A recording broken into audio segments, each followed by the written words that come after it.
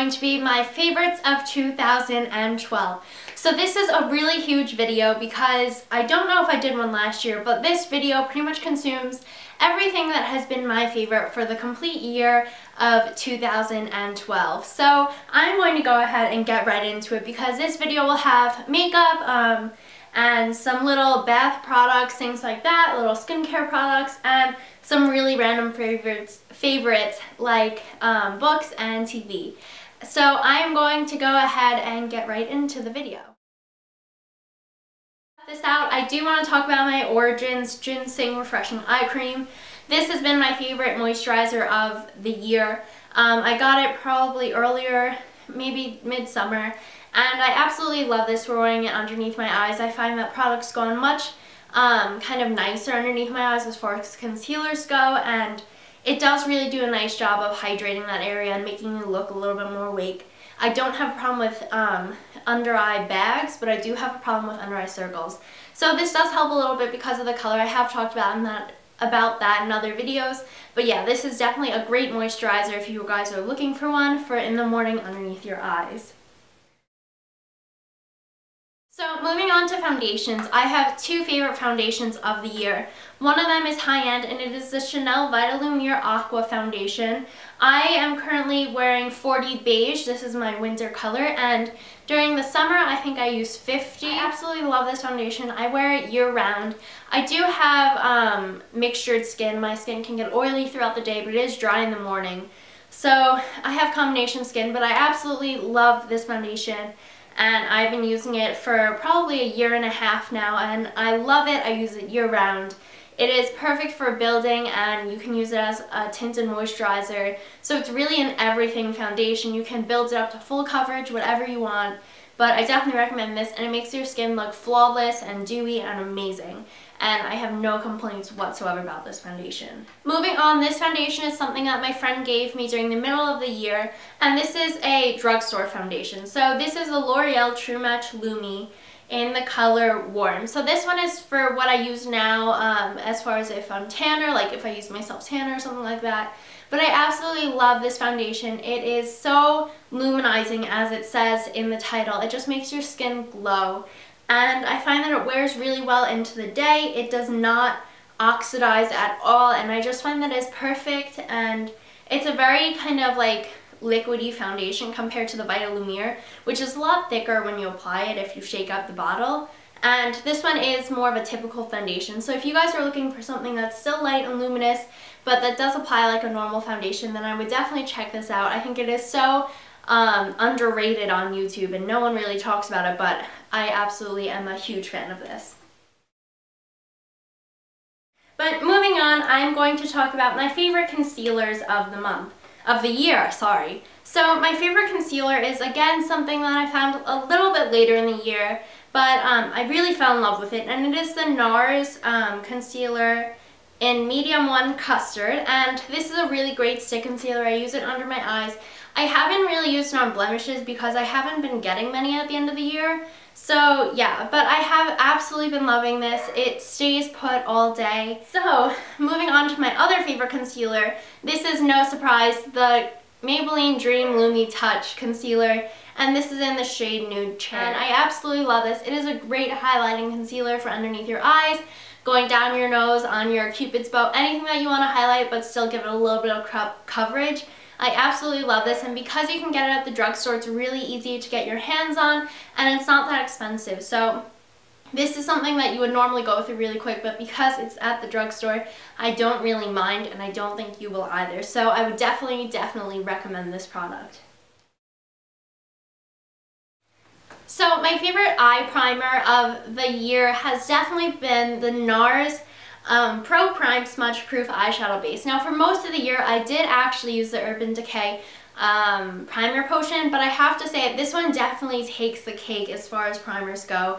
This primer is absolutely amazing. It makes my eyeshadows wear so much better than the Urban Decay one did and it just makes your eyeshadows more vibrant, but it also keeps them from moving at all. And I'm someone who definitely suffered from my eyeshadows moving during the day.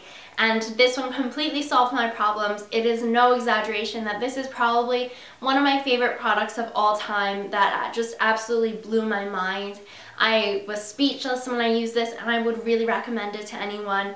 It is definitely hands down my favorite product of the year and it is only a primer so now, kind of going along with eyeshadow bases, I have two favorite cream eyeshadows of the, of the year. So, the first one is the Color Tattoo um, by Eye Studio 24 Hour Eyeshadow Base in the color Bad to the Bronze. So this is a product by Maybelline, and you guys probably have heard about this a ton on YouTube. Um, it is just the nicest creamy bronze colored layer alone or underneath eyeshadows, and this is a product that I've used all year, and I just absolutely Love it and it's great for days when I don't want to do that much my, that much my makeup and I've had friends come over and use this and they just love it so much. But now what I found later in the year but has completely blown my mind is the Makeup Forever Aqua Cream. And this is a waterproof cream eyeshadow base. And this one is in the color 16 and the name is not on here, but it's just shade 16. And this one is a gorgeous pink color base that I've been wearing almost every single day in the month of December and part of November.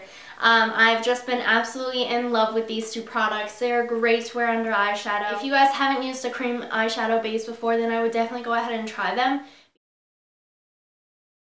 So moving on to eyeshadows for the year of 2012, I have two that I've been using the most. I do have a lot of eyeshadows that I've been loving this year, but these two have definitely been the ones that I've gravitated towards the most. So the first one is the CoverGirl Trio in the shade Shimmering, Shimmering Sands. And this one has a light pink kind of shadow um, highlight, a um, kind of light teddy bear brown, for an all over color and then a dark brown with a little bit of a red tone in there for the darkest crease color. I absolutely love this for a drugstore um, eyeshadow trio. This has really great, um, a really great consistency and pigmentation and I find that they blend really well. But now if you are looking for something a little more high-end, then my other favorite of the year has been the NARS Kalahari Duo. And now I do have to say that NARS is definitely one of my favorites um, for eyeshadows in general now after I tried out this one. But this one is just an amazing um, neutral color duo and it has a little bit of a purple undertone in it which is why I gravitated towards it because I have brown eyes. But um, it has a dark brown and kind of like a little more metallic lighter brown and I absolutely love those. Now for eyeliners, I chose to leave my eyeliners out, but if you guys do want to know my favorites for the year, I just won't show them in this video. It is the Urban Decay 24-7 Glide On for the pencil and I use the color Zero normally and the Stila Stay All Day liquid eyeliner in Intense Black, Carbon Black, or just black. Um, They've changed the name a couple times, so I'm not sure what it is. But that is a felt tip eyeliner, and you guys know if you've watched any of my other videos that that is by far my favorite eyeliner of all time, but um, I just didn't want to put it in here because I thought it would get a little redundant. So moving on, I would like to talk about my favorite mascaras of the month, of the year. I keep saying month. So I have used quite a few mascaras um, this year. I've gravitated from high-end to low-end, I mean not low-end, to drugstore. Um, and I have to say that drugstores have really become my favorite mascara for this year. Um, I hadn't really used them before then because I had a really bad um, encounter with the Maybelline Great Lash, I think, which is normally the basic mascara that everyone starts with. But I just hated it. It made my eyelashes really uncomfortable and I just hated that one. So I never went back to um, drugstore mascara until a drugstore by me was having a complete sale store-wide and I just kind of went a little mascara crazy. So the one that takes the cake, if I'm only going to talk about one, is definitely the Voluminous Million Lashes and this is by L'Oreal and it just comes in this shiny packaging.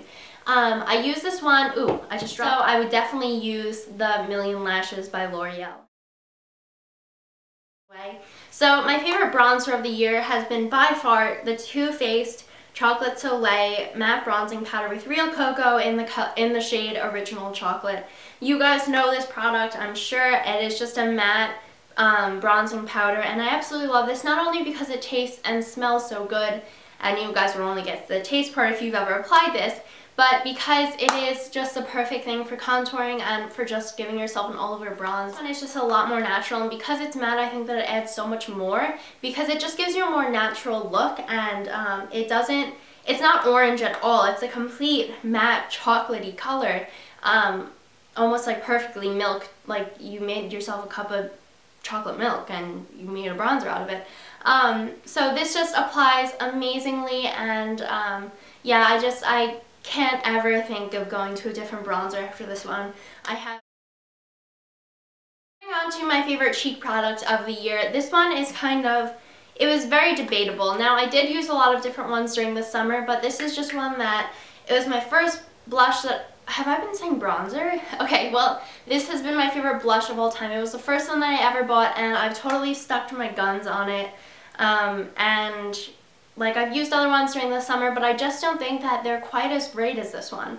So this is the one that I've always gravitated towards year round, and it is the MAC um, Sheer Tone Blush in the color Blush Baby. But kind of a matte, just almost mauve pink, that's how I would describe it.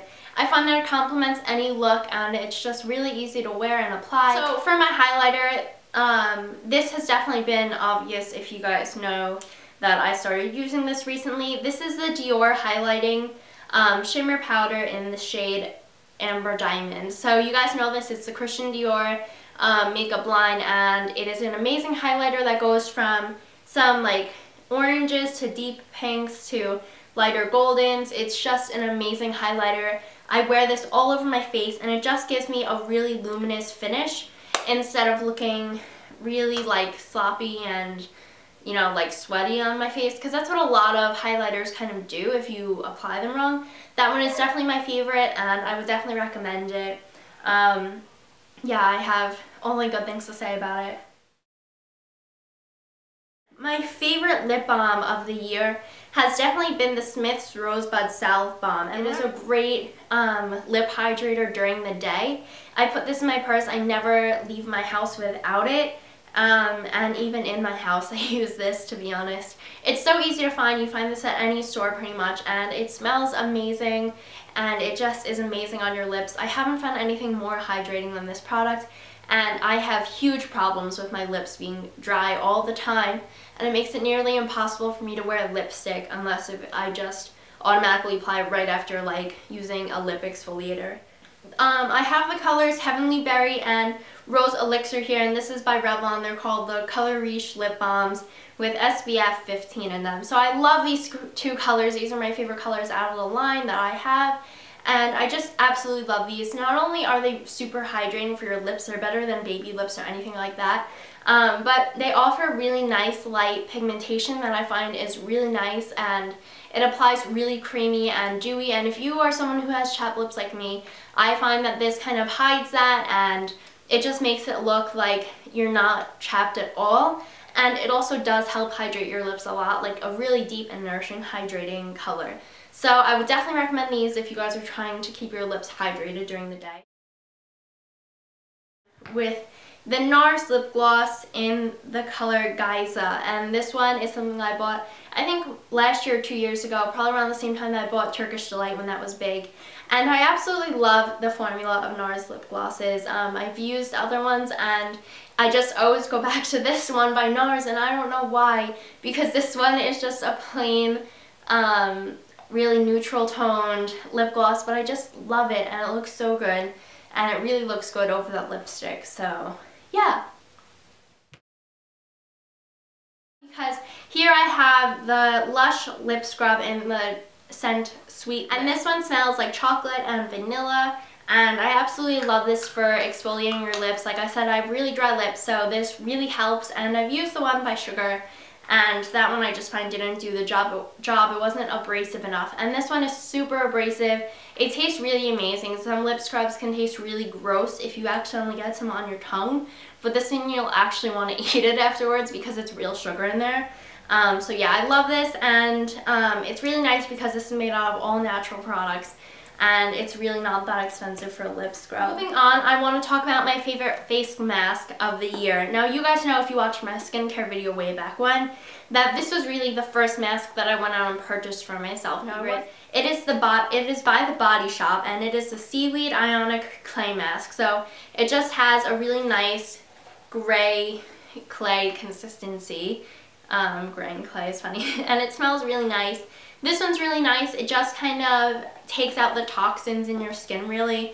Um, and if you guys go in, then they will match this to your skin type. So mine is for combination to oily skin, and I absolutely love this. I do have to follow up with a really good moisturizer though. But I do love this, and I use it almost every week, every Sunday, and I leave it on for 10 minutes, and it is just the only mask that I will use right now. My last skincare product in this video, my favorite of the year, and probably of all time is the Garnier The Refreshing Remover Cleansing Towelettes. Now, everyone loves the simple or the yes to carrots or yes to cucumbers or whatever, but this is by far my favorite.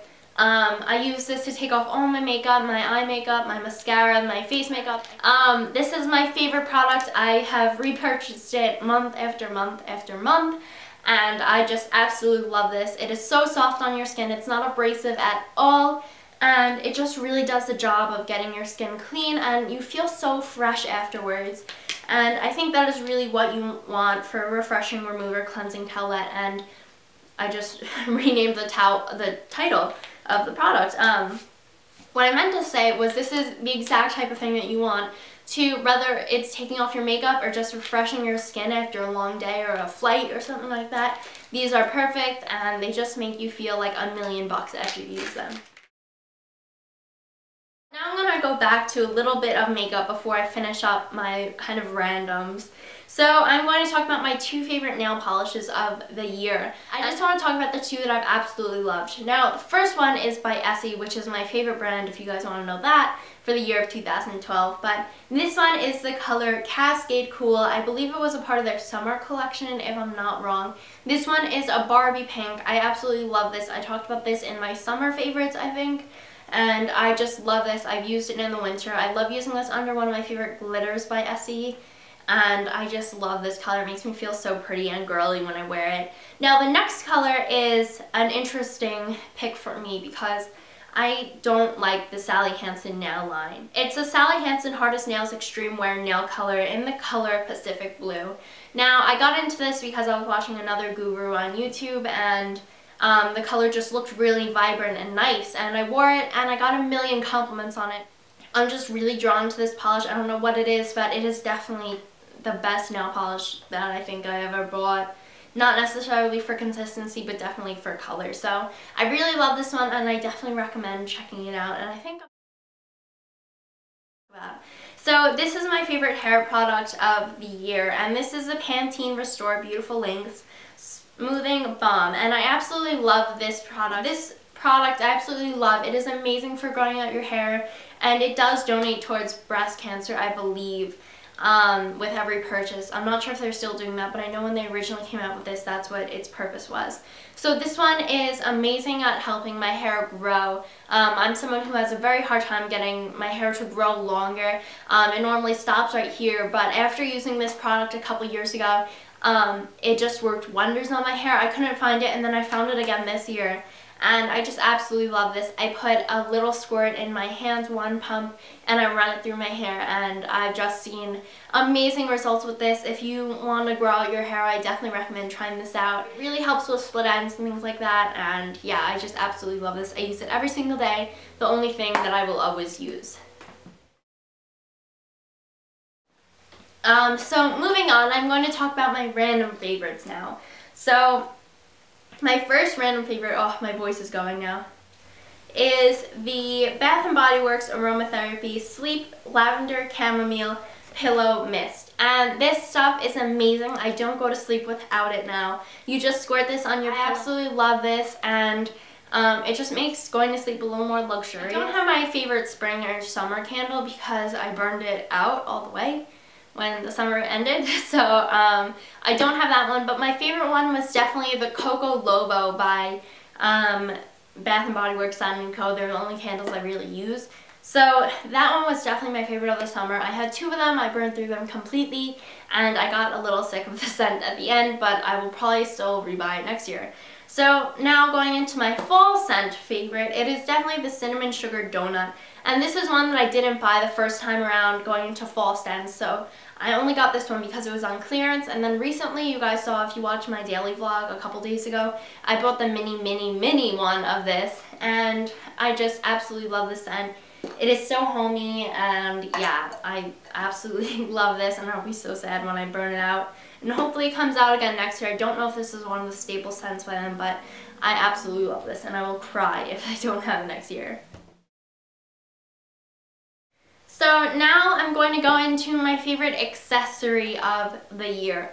Now I don't use a lot of jewelry accessories, however I have bought a lot of them this year and I got really obsessed with rose gold. And this is the Michael Kors watch, and I have it in the style, the Blair Glitz watch. So this one has some um, gems around the face of the watch. It has the three smaller faces within it. One's a stopwatch, one is the minutes, and one is the hours of the day. So I absolutely love this watch and it is in rose gold, which has been my obsession for the year 2012 and probably for most of 2013. But so my favorite books of the year, I have two. One of them, both of them are series actually, but I'm only going to show you one book out of this one. This is The Summer I Turned Pretty series by Jenny Han. Um, I read this book over the summer and I think on spring break this year um, in 2012 and I read this book series probably like four, five, six times maybe. Um, there are three books in this series. It's by Jenny Han and I absolutely love this book. It means so much to me and if you guys were ever had confidence issues or anything like that or you ever felt rejected or anything like that, then I definitely recommend this book. Um, if you guys also like Dessen, then I would really recommend checking out this series because you'll just absolutely fall in love with it the way that I have. And now the other book series that I fell in love with this year was The Hunger Games. So I got into this book after the movie, after seeing it, I wanted to see what the book was about because my friends in art um, were always talking about it. So I have the trilogy set here, which I was really excited to get because if you guys were fans of like Harry Potter or Twilight and you read it midway, then I could never get a hold of the whole set without rebuying a book. So I was really glad that I could finally buy one of them because they save you a lot of money. It doesn't top any of my other series at all, but it was definitely a favorite of mine and I can't wait for the next movie, um, which will be coming out next year. Oh, but my favorite movie then of the year, no, that didn't even come out this year, dang it.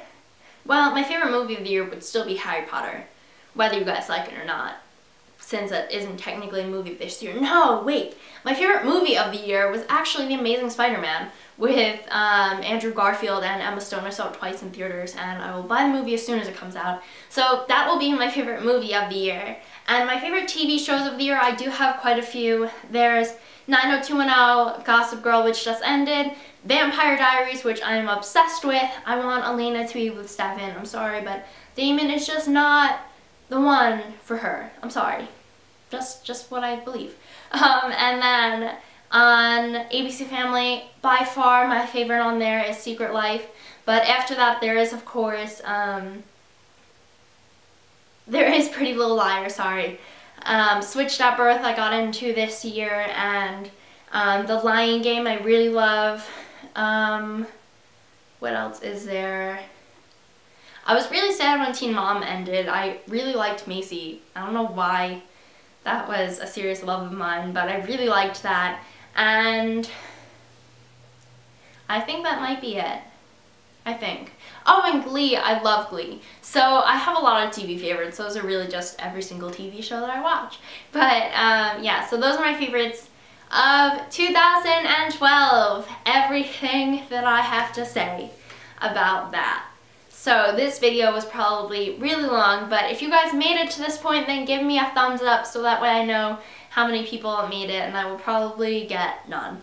but um, yeah, so if you guys want to leave a comment below telling me some of your favorites, or asking me about my favorites, or any of that, then go ahead and write it down below. I love you all. I hope that you had an amazing new year. If you guys are watching this after the new year or before, um, then I hope that you still have a great new year. And yeah, I hope that you guys say goodbye to 2012 with love and with happiness looking back on your year.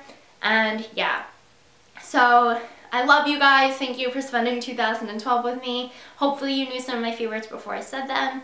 And yeah, make sure that you like, comment, and subscribe below. And follow me on Instagram. um, so yeah, everything will be in the down bar below. And I love you. Bye.